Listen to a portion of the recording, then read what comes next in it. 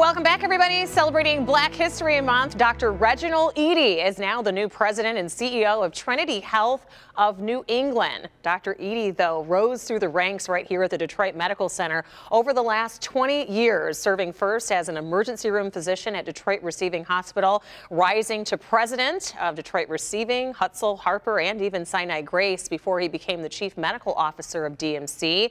He is a native Detroiter. He's a graduate of Cass Tech and Wayne State School of Medicine and Michigan State College of Business. Dr. Eadie is most passionate about our community eating better. He wrote How to Eat and Live Longer and also created the very popular 61 Day Challenge at the Detroit Medical Center.